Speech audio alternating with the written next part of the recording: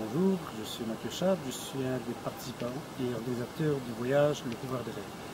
Ce que je vais vous présenter aujourd'hui, c'est une modification apportée au Packraft et la façon dont je vais attacher le sac à dos sur le Packraft. la principale modification que j'ai apportée, c'est j'ai ajouté des sangles dans le Packraft pour la maîtrise du bateau. Ce sont des sangles qui viennent emprisonner mes genoux dans le bateau. Voilà, je ferme les sangles, je les serre correctement,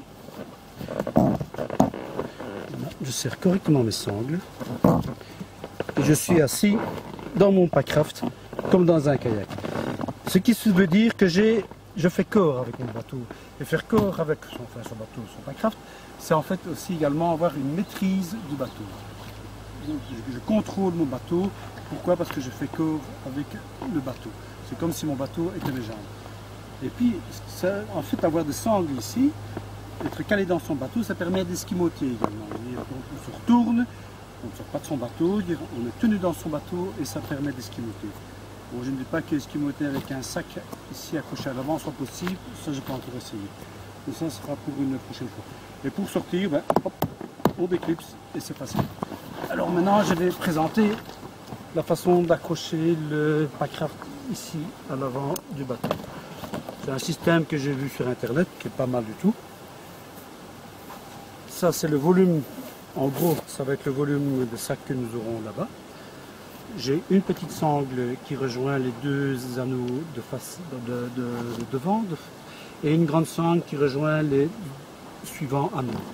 Alors je mets le sac en travers du packraft j'ai une autre sangle qui relie la grande et la petite sangle.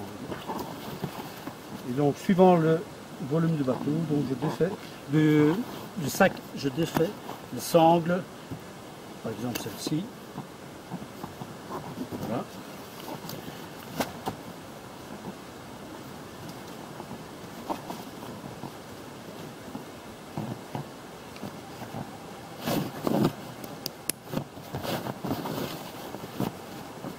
Et je resserre le tout.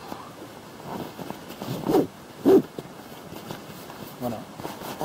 C'est pas là, je ne dis pas que c'est la meilleure des solutions, mais je pense que ça permet en tout cas de sortir son sac rapidement. Et il a quand même une tenue correcte dans les rapides.